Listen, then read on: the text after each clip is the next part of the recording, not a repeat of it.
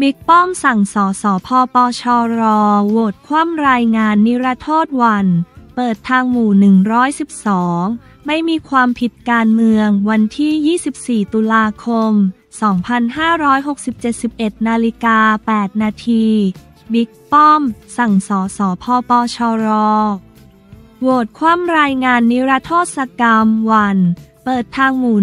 112 ไม่มีความผิดชี้กฎหมายนิรโทษรุนแรงกว่าแก้ หมู่ 112 เมื่อวันที่ 24 ตุลาคม 2567 นายภัยบูลนิติตะวันเลขาธิการพักพลังประชารัฐ พปชร เปิดเผยถึงการพิจารณารายงาน และผลการศึกษาของคณะกรรมาธิการ กมท วิสามัน พื่อศึกษาแนวทางการตราพระราชบัญญัติ พรบ นิรโทษกรรม สภาผู้แทนราษฎร ที่สภาจะมีการลงมติในวันนี้ วันที่ 24 ตุลาคม ว่าพลเอกประวิตยวงสุวรรณหัวหน้าพักพลังประชารัฐ มีนโยบายสำคัญที่สุด ที่จะต้องปกป้องสถาบันพระมหากษัตริย์ ให้มั่นคงสถาพรตลอดไป เป็นที่ยึดมั่นศรัทธาของประชาชน ไม่ต้องการให้ผู้ใดกลุ่มบุคคลใด มากระทำการใด ๆ กระทบกระเทือน ต่อสถาบัน จึงมอบหมายให้สสพักพลังประชารัฐ ลงมติไม่เห็นชอบกับรายงานของกมทพลเอกประวิทย์กำชับเน้นย้ำให้สอสอของพักพลังประชารัฐ ต้องคัดค้านรายงานฉบับนี้อย่างชัดแจ้ง และเต็มที่ด้วยการลงมติไม่เห็นด้วยกับรายงานของกมท ในที่ประชุมสภาในวันนี้ นายภัยบูลกล่าว นายภัยบูลกล่าวว่า ซึ่งในรายงานของกมท ปรากฏว่า มท เสียงส่วนใหญ่เห็นด้วยกับการนิรโทษกรรม ผู้กระทำผิดประมวลกฎหมายอาญา มาตรา 112 เห็นได้ว่าการ กำหนดให้มีการนิรโทษกรรมผู้กระทำความผิดตามมาตรา 112 จะทำให้การกระทำความผิดตามมาตรา 112 ไม่เป็นการกระทำผิดอีกต่อไป ดังนั้นการออกกฎหมายนิรโทษกรรมมาตรา 112 จึงจะมีผลกระทบรุนแรงต่อการปกป้องคุ้มครองสถาบัน มากกว่าการแก้ไขประมวลกฎหมาย อาญา มาตรา 112 ดังนั้น หากสสพักพลังประชารัฐคนใดลงมติเห็นชอบกับรายงานฉบับนี้ เท่ากับเห็นชอบให้มีการนิรโทษกรรม ผู้กระทำผิดตามประมวลกฎหมายอาญา มาตรา 112 ตามกมทเสียงข้างมาก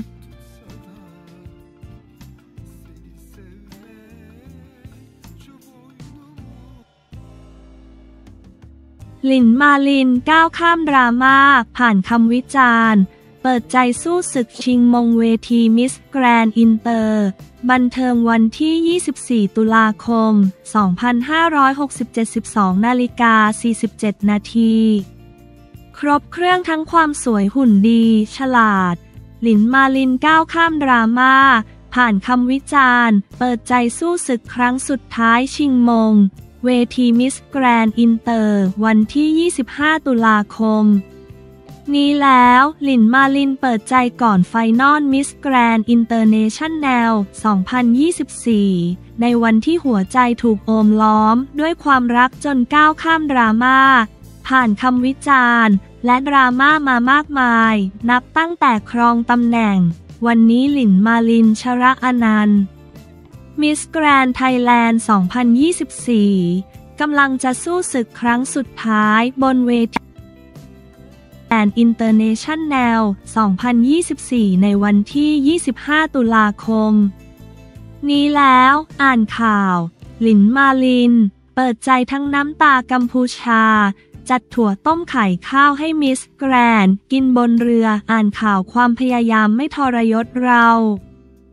หลินมาลิน สยบครหานางงามตัวเตี้ยเผยเสียงสั่นแม่ป่วยมะเร็ง โดยที่ผ่านมาหลินมาลิน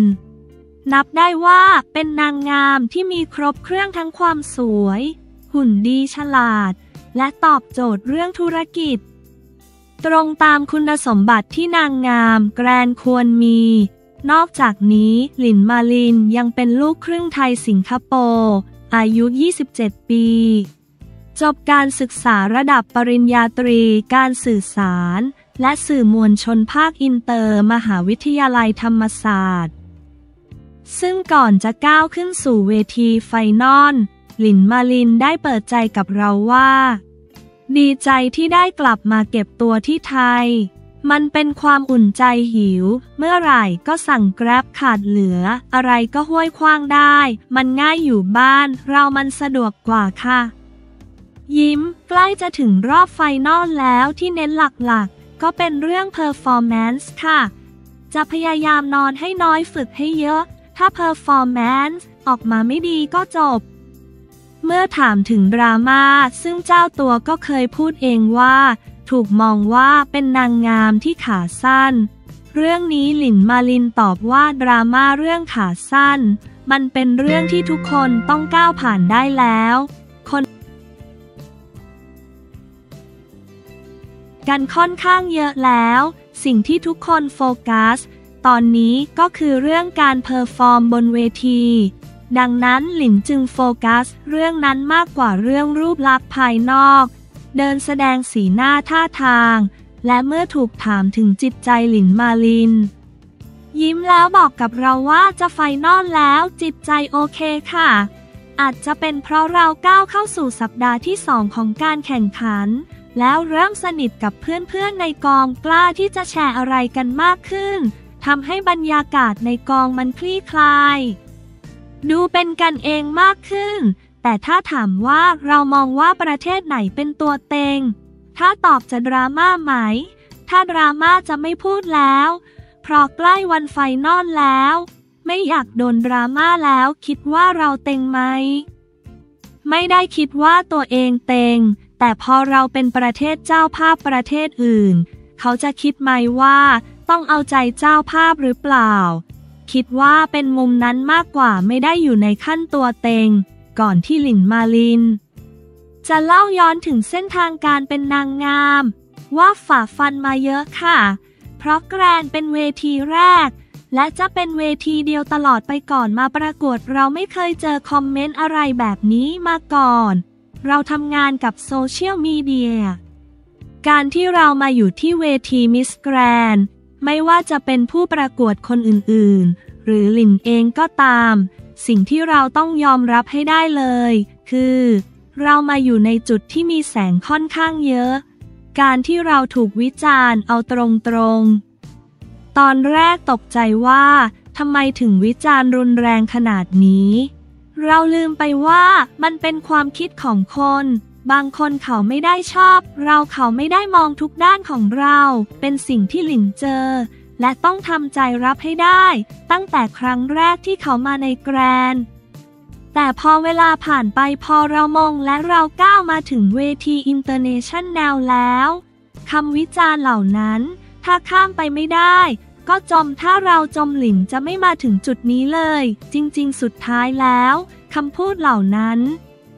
หลินเห็นแล้วว่ามันไม่สามารถมาทำอะไรเราได้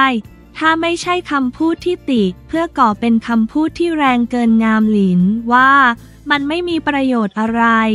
การจะดึงตัวเองขึ้นมาจากดราม่าได้ หลินต้องอยู่กับคนรอบตัว หลินมีเพื่อน มีครอบครัวมีทีมที่ดีทุกคนโอบล้อมหลิน ด้วยความรักด้วยคำพูดดีๆ ด้วยการตักเตือนกันที่ใช้ภาษาสุภาพ หลินเลยไม่ได้รู้สึกว่าโดดเดี่ยว หรืออยู่ในโลกที่คนทอดทิ้งหลิน แฟนๆของหลินก็มีส่วนในการให้กำลังใจ แต่แฟนนางงามคำว่า นางงามก็คือ นางงามหลินไม่ใช่นางงามขนาดนั้น ไม่ใช่นางงามจ๋า เขาจะติอะไรก็ได้ แต่ว่าสุดท้ายแล้ว ทีมหลินจะเป็นคนคัดกรองออกให้หมด แล้วก็ใช้คำพูดสุภาพในการตักเตือนกันแทน ถ้าถามว่าอะไรยากที่สุดในเส้นทางนี้ หลินว่าคือจิตใจค่ะจจากที่ถามรุ่นพี่ปีก่อนๆมาสุดท้าย มันเป็นเรื่องของจิตใจ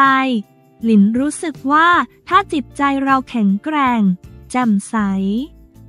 สุดท้ายมันจะออกมาดี เพราะว่าเราได้รับเสียงวิจารณ์ทุกวัน และที่ตัดสินใจมาเวทีนี้ เพราะว่าแกรนเป็นเวทีที่แสงค่อนข้างเยอะ และแกรนก็แตกต่างใน part นางงามหลินทำเต็มที่ในส่วนของเราแล้ว